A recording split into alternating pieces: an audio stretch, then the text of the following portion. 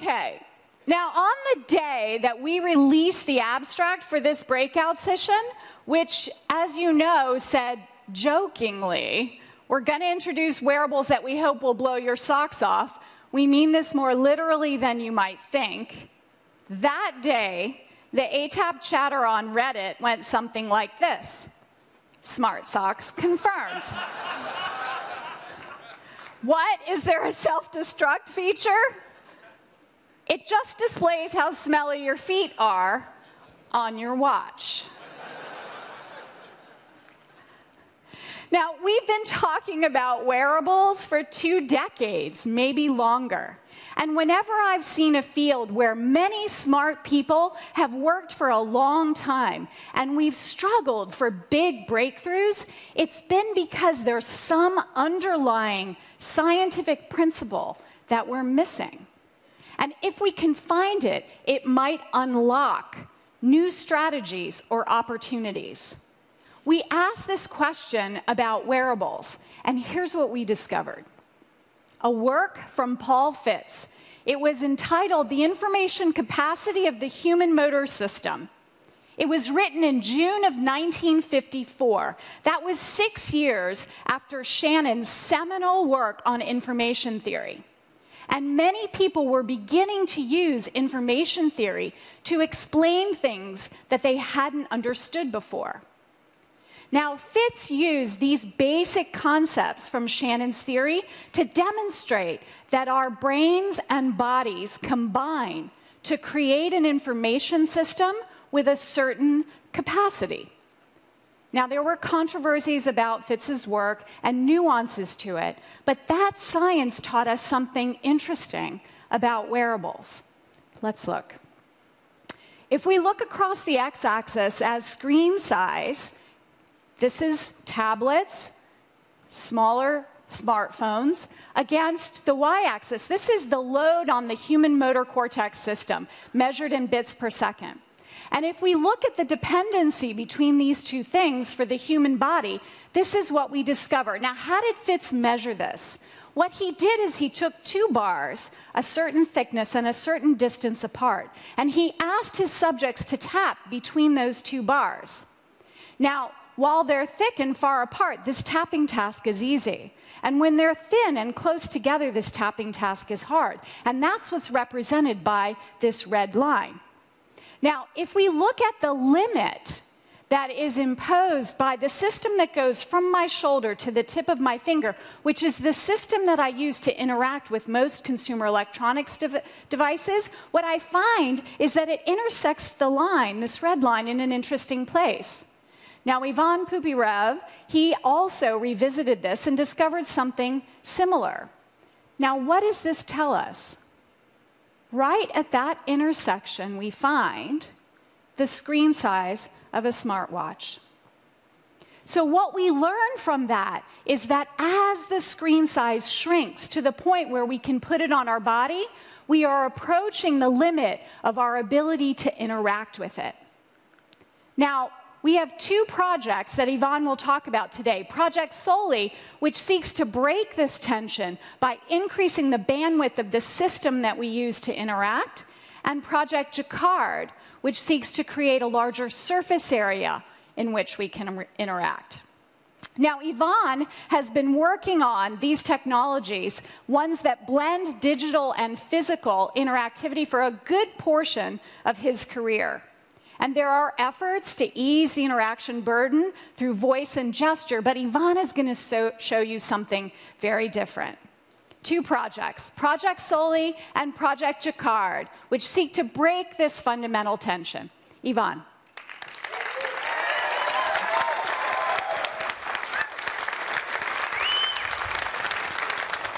Thank you.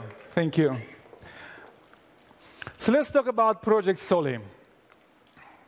Our hand is an amazing instrument. It's very fast and precise, particularly when we're using tools that require full dexterity of our fingers. The sensitivity and accuracy is very, very natural to us. We use it every day. We don't even notice it. But we're still not able to capture this sensitivity in our user interfaces, which are still quite clunky. There are many reasons why fingers and using fingers for manipulation is superior. For example, if you measure the bandwidth from the cortex to the tip of your fingers, it's 20 times the bandwidth to the, uh, to the elbow.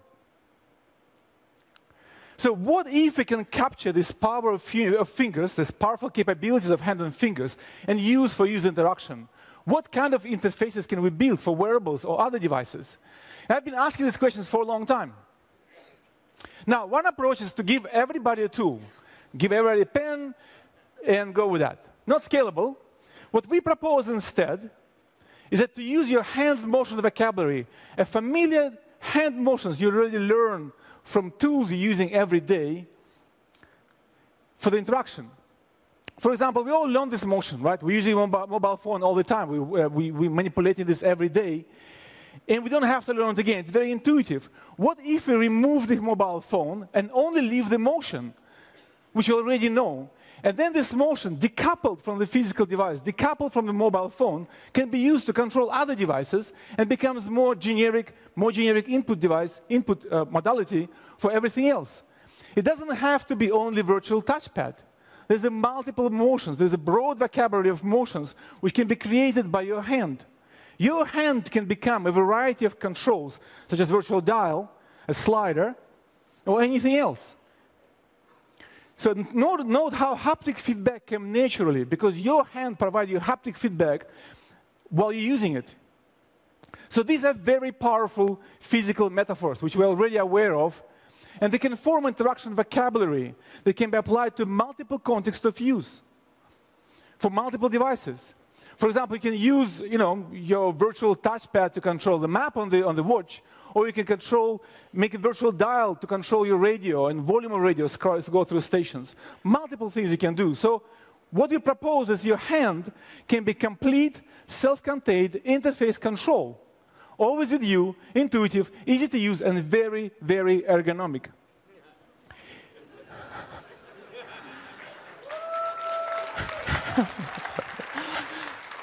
In fact, it can be the only interface control and only interface device that you, that you would ever need for wearables. All physical controls replaced by your hand. Now, to accomplish that, we need a sensor. And not every sensor would work. What we need is a sensor that can capture sub-millimeter motions of your fingers that are overlapped in 3D space.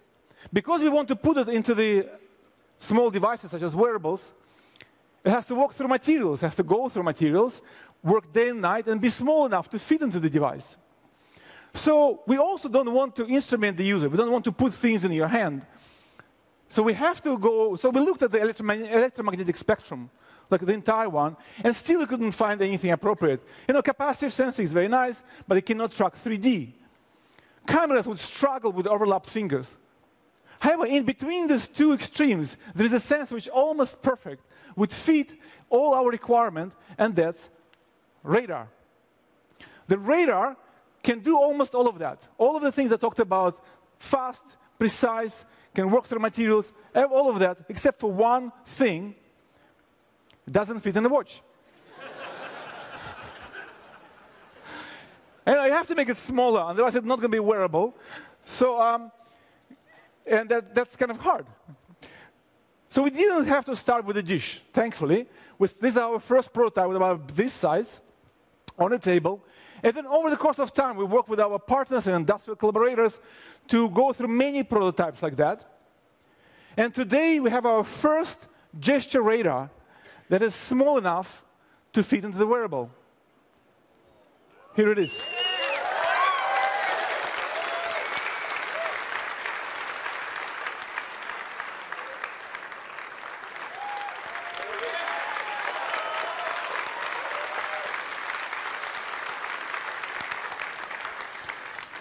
A radar in the pocket. so this is a new category of interaction sensors running at 60 gigahertz that can capture the motion of your fingers and hand in free space, touchless, at resolutions and speed not possible before. And you don't have to be a RF engineer to use it. Everything you need is inside, antennas, control electronics, and we can make it at scale. Uh, when we connect to a computer, we can run it at, freaking, at, at speeds up to 10,000 frames per second. And because we are fast and furious, here's an ATAP, as Regina mentioned. We went from the first prototype to this chip I just showed you in 10 months.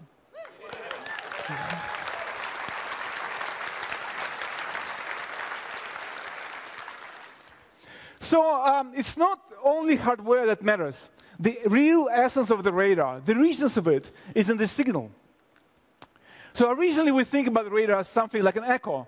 You know, you, you know, send a signal, it bounce back from the object, come give you a single return. However, to, couple, to, capture the complexity of the hand motion, the close range, what you would have to do, you would have to have the narrow beams scanning the entire hand in, in, in, in real time, which is really expensive, both in hardware-wise and computationally. We cannot do wearable radar this way. Instead, what we do, we illuminate the entire hand with a broad beam and treat the received signal as a complex superposition of reflections from different parts of your hand as it changes and moves in space.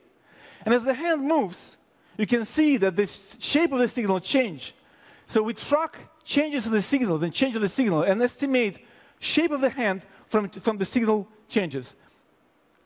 And now to explain how it works, I would like to invite on the stage Jaime Lien, our lead research engineer and radar expert.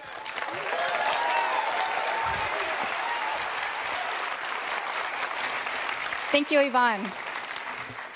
The radar signal contains a lot of complexity and information about my hand when it's in the field of view. So we have a short demonstration showing how we interpret and extract this information for gesture sensing. Let's start with the raw radar signal shown in this plot here. This one signal actually contains a lot of information about my hand's size, shape, pose, and dynamics. You can see how responsive it is to any slight motion.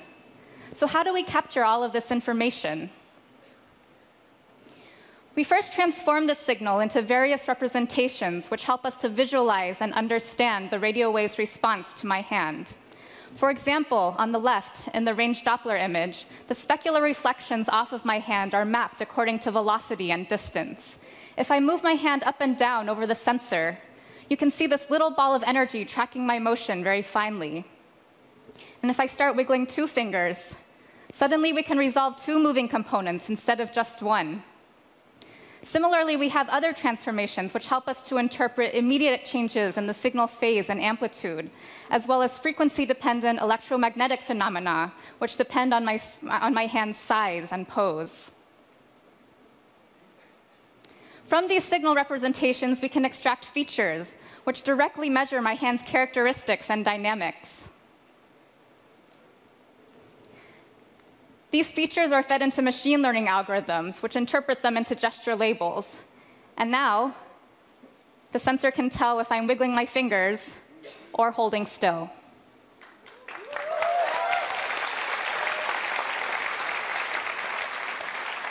So you can see at each stage of this pipeline, we abstract more and more from the original radar signal as we extract more and more concrete information about the gesture that I'm performing. And we'll be making this entire pipeline available to developers in the API that we're building. Thank you. Thank you, Jaime. So this is the world's first radio frequency sensor used for, uh, for touch and gesture interactions. So we talked about all these small, tiny gestures. Let me try to show you another demo where we actually try to do this. This is very early work. It just off the, like we just finished a week ago, I guess so. so um, first of all, there's the detection of the hand, right? So we, we, the radar can detect presence, can lock in your hand or lock out from your hand, can lock, your, uh, lock on the hand. And I'm, I'm trying to do is to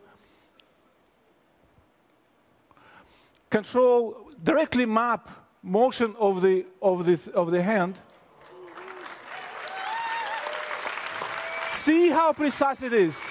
This is direct mapping, where I map one to one. So even tiny motions like this produce exact large motions on the screen. So I can control this little blob really, really precisely with just tiny motions of my fingers. Now, this, Now, this was an interpreted motion of my hand, right? Direct mapping from the uh, motion of the fingers to the control of the screen. So now we do some simple interpretations, which allows you to do things, control the gestures. I can do really, really fast.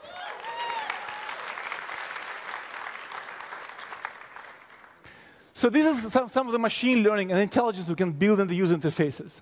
What's exciting about the radar is we have multiple modalities. I can, I can track gestures and, and, and, and distance.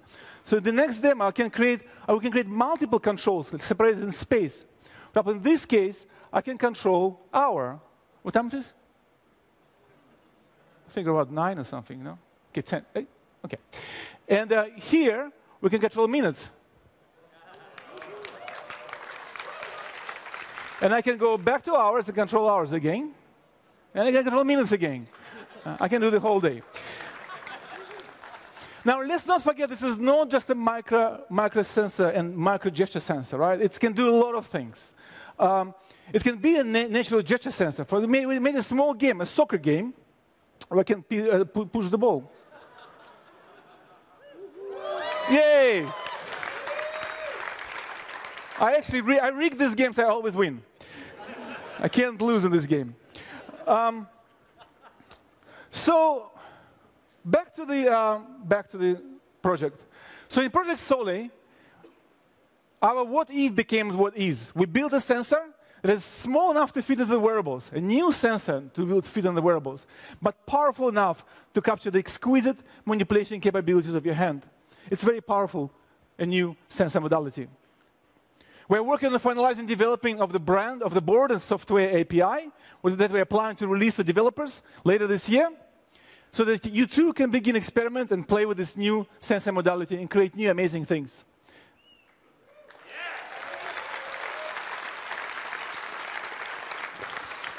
So let's, let's move to another project. As you remember from the, from the uh, earlier slide with the beginner showed with the graph, there's two directions. One, to increase the capability of the sensors through the, uh, of, the, of the interfaces through using faster and better manipulations, and interactions using our hand. And the second one, to increase the space where we can interact. So let's talk about Project Jacquard, which approaches this problem. So Project Jacquard is about textiles. The idea from the project comes from observing similarity between multi-touch panels, which we use on mobile phones, and textiles. Both are interlocking grids. Therefore, if we can replace some of the yarns on textile with conductive yarns, what we can do is to weave multi-touch textile sensors. We can weave multi-touch panels, weave them, that is flexible, colorful, tactile, made of silk, wool, cotton, any other materials, like any other textile. You can weave interactive input devices. And if we make garment out of such textiles, it would be immediately interactive and responsive, and you would not call it a wearable. You would call it a jacket. So we have seen instances of interactive garments before, people have done this, but we want to move beyond novelty. We want to move beyond a single case use cases. We want to make interactive garments at scale, so everybody can make them and everybody can buy them.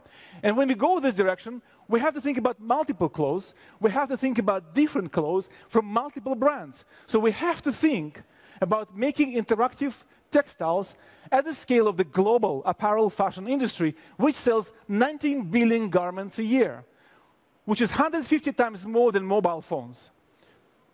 We cannot expect global fashion industry to change just for us, even though we Google. we have to make interactive garments possible using existing manufacturing techniques and existing manufacturing supply chains. We have to adapt to textile industry. So every textile mill in the world can weave interactive textiles. So can we really manufacture interactive textiles, interactive garments for this reason at scale? So that's the question. We travel the world. We went to multiple countries, Japan, Europe. We learned about industry. We made friends. This is one of the, our partner mills in Japan. It turned out that the very basic fundamental technologies and materials that are required to manufacture interactive textiles simply are not available. You cannot buy them off the shelf. So we had to invent them as we were building the capability. Starting with conductive yarns. Conductive yarns that can withstand harsh industrial processes of textile manufacturing would involve burning textiles with open fire. stretching, washing them, and pulling them with metal clothes. I saw it myself. This is not very friendly to electronics. So another problem was the choice, a choice of colors of materials. This is an example of a catalog of yarn swatches which, which textile designers use, use when they make fabrics. This is the choice of conductive yarns. Comes in one color, gray. And it's not even that conductive. So we had to go and to invent our own yarns. You see in this picture, not only they are hundreds of times more conductive, they could withstand all the all the burning and pulling forces of textile manufacturing, all those conditions, but they also look and feel completely normal to textile designer or to you. They look indistinguishable from normal yarns. However, if you look at them at the microscope, you will see that in fact they are complex multi-layer structures where highly conductive metallic alloys are braided together with thin silk fibers to give this yarn supreme strength and durability. And at the same time, we can make it in multiple colors. So let me show a video how this textile, how these yarns are made.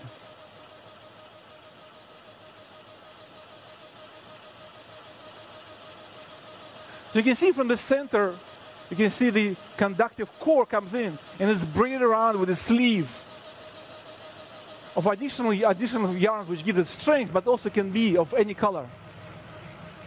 It's a heavy industrial process. This is very different experience from programming. This is multiple colors which we can produce with our manufacturing approaches. Now, a challenge of producing interactive textiles is also about connecting them to the digital world. It's not just to make textile and be happy about it, but you want to actually use it. So when we made the first textile, we were very naive, and we just made this whole thing interactive, all 20 meters of it.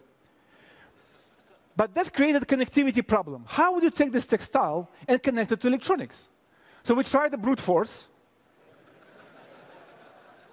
more brute force, a little bit less brute force, but still didn't work because I have to pull out each of the yarns by hand, and it just doesn't work. So what we did, we went back to the original idea. We went back to the craft. I thought, how can you weave interactive textiles in a way so it's easy to connect to electronics, not the other way around. How does electronic to attach to the textiles? So we went back to our partners in textile industry and figured out how we can weave our patches precisely where we want them to be. To localize them, so the problem is localized in one place, not on 20 meters textile, on the back, we designed three-dimensional weaving techniques where we can change directions of the yarn, going from the top surface of the yarn to the bottom and then free float outside so that we can, can access them with tools and machines required to make connection. At the same time, we're able to keep the structure of textiles, the structure of the yarns, you know, in touch so that we can connect the yarns and connect order. So the order of connection is very important. So at the end, we get something like this. And that can be connected to electronics really easily and without any efforts. So let me show how interactive textiles is woven. There is many, many moving parts. This is one of our partners, one of the experts in textile manufacturing and textile design in Japan. One of the best ones. So you can see our, our, our, our yarn coming in, our conductive yarn. And you can see by weaving the interactive panel coming out. This is our yarns inside the woven textile. This is the woven panel coming in. And we can place it anywhere we want on a piece of textile, and we can do it with anything like. So using this established process, we can weave interactive touch panels. They don't have to be gray. They can be any color, any shape. Contemporary designs, there's interactivity woven there. Classics, transparent, invisible, stretchable, and of course, we can make it on any size. We can weave interactive panels as large as you want. And now we can connect the interactive textiles to the digital world. We can connect them and control our devices with that. So let me show a demo how it works. First of all, let me show the textile. This is a piece of textile you saw at the video. This is how it looks like. It's real. It's not, you know, there you go. Yeah. This is the back of the textile, you can see. We cut out the yarns to, to, to, to separate them. And now I'll show how it works um, you can see the grid, and, as I approach, and you can see the black, black square over here. Yeah, here you go. Um, that is interactive area. As I approach it in my hand, you can see it moves. So that's you see the difference between our work and the touch, touch panels. Again, it's, it's designed to sense your entire hand because we don't expect people to use the fingers when they interact with the clothes like this. But you also can use fingers, of course. Here you go. So you can draw, you can write something. Uh, you can do to, you can do multi-touch like this. Um, you can do the little waves across the textile like this. Oh, but different directions like this too. You know, to you, wave to you, wave out you. Um, so the, we don't expect these textiles to be um, to be replacement of the touchscreens the, the material properties and the quality of textiles completely different, right? There's something you can put on your body or on your couch or on your pillow. On many places you use textile, and then it becomes interactive, not by, by, by precise manipulations, but using broad gestures of your hand, when you can just swipe across and control anything you would like to control. So what are we doing right now? Let's switch back to the slides. We are building the entire pipeline. We're going through the textiles from, from the yarns to textile structures, to connectors, to wireless connectivity, mobile systems, and then to applications and services, which you can control with the textiles. This is a website where you can follow our progress, and please follow us and you know, let us know what you think.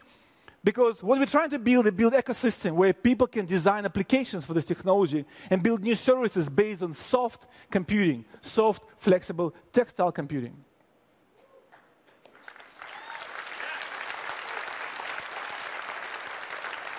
Now the story would not be complete. Oh, sorry, wrong, wrong clicker. Here you go. so the story would not be complete if we actually try to build a garment. How do we know that we succeed? And the only way to know that, that you can succeed, is to actually make a garment, interactive garment, and we give it to a tailor to do it. Not yourself. Somebody else has to do it.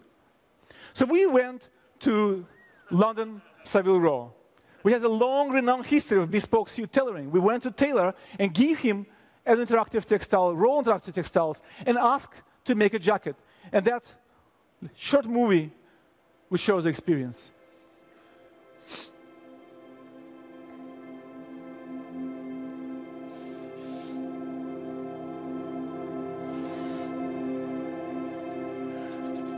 Creating jackets is a 200 years old tradition. It's a craft and art. People learn from generation to generation the tools and materials, they don't change as much as we used to in our digital world. It's all about feeling, how you cut it, how it feels on your hands. So we give them the new material, our interactive textile. They were really excited because rarely in this industry something new and completely different comes in. It's industry built on tradition and craft and respect for the craft and respect for traditions. The brands we're working with have been around for, a lot of the brands, clothes brands, have been around for hundreds of years. This is a connecting. They designed a little pouch to put electronics. They close it in. As a jacket come to life. You swipe across the sleeve and make a phone call. Your jacket has arrived.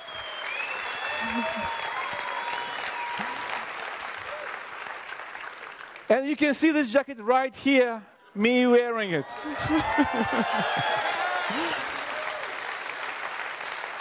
I actually, I actually quite like it. So it's about you know, combining technology and fashion and being, making things fashionable, beautiful. That's the answer. Now we think about jacquard as a raw material that will, be, will make computation part of the language which apparel designers and textile designers and fashion designers speak. We want digital to be just the same thing as you know, quality of yarns or color use, how digital it is. And we cannot do it by ourselves. We have to, and we wanted to work with creatives from the fashion industry. And today with us is our first partner, a historic brand sister San Francisco company. It was here long before we arrived here. They came with the gold rush, and built their company by designing functional and fashionable, highly innovative garments. Our partnership is continuation of that tradition, and that's Levi's.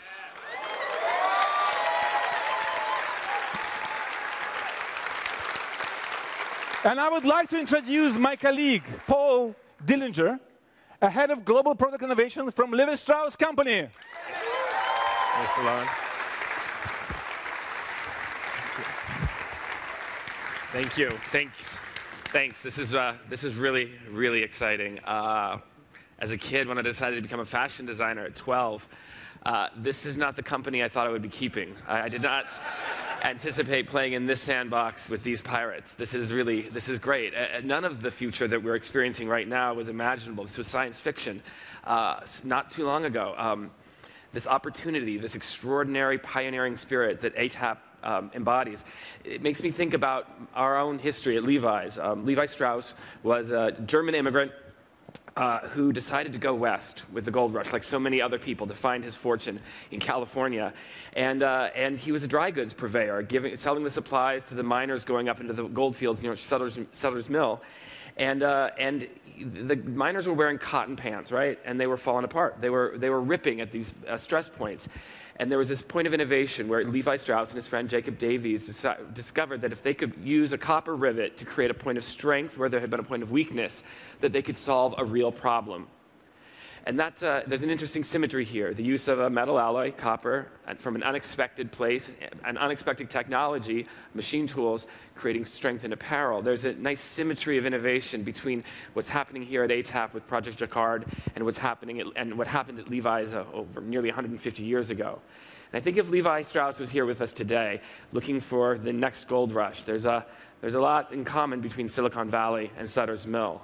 Uh, we think about the optimism, the creativity, the energy, the excitement around invention that these two uh, cultures share. And it's only appropriate that these two great global brands rooted in San Francisco come together for an exciting opportunity like this. Now, the question is why? You know, when, uh, when, you, when, you, when you think about the innovation, yes, the dazzling opportunity that we see in this new technology, yes, this great platform that's been enabled, yes, but why?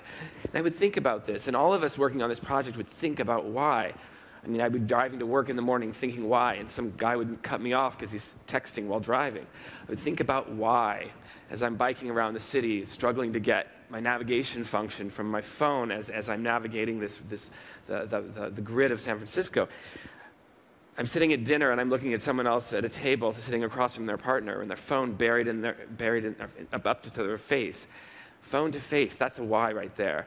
We live in a beautiful, richly textured, real world, but ever increasing need and engagement with a digital world. And these worlds exist with a certain tension. If there's a chance to enable the clothes that we already love, to help us facilitate access to the best and most necessary of this digital world while maintaining eye contact with the person we're eating dinner with, right? This is a real value. And, it's, if we can deliver that value in the, in the form of the clothes that you, as friends and fans of this brand, already love, that is a project worth doing. But as a fashion designer, it's not really a project that I'm entirely equipped to take on. We've got the genius pirates at ATAP who can help us develop and deliver this platform. And now we have all this great capability at Levi's. We've got experts in fabric creation and supply chain. We've got designers who can help us bring this form to life and the merchants who can package it up and bring it to the consumer in a really compelling way. But there's a third creative constituency that we must activate. And so now, my friends, you are all fashion designers along with us. You, uh, you have the, we can, we can tailor a few specific applications to, for, for, the exact consumer that we know. But the real opportunity is a creative unlock in this community to activate this new platform in ways that we have not yet imagined. And it's going to be iterative and it's going to be fast and fun. And we're inviting you to come along on this journey with us as the fashion designers of the future to make something really special, ha special happen with Project Jacquard. All right? Yeah? yeah thank you. Great. Thank you, Paul. And with us today is James Curleigh, or JC as we know him, president of the Levi's brand. JC.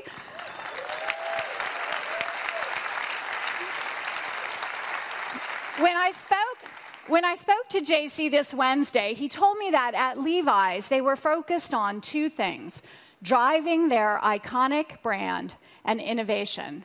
And last week, on the 142 year anniversary of the 501s, they found a 130 year old pair of Levi's from the 1880s. That's iconic. And this week, we announce our partnership to work on new wearables. That's innovation. So, congrats, JC.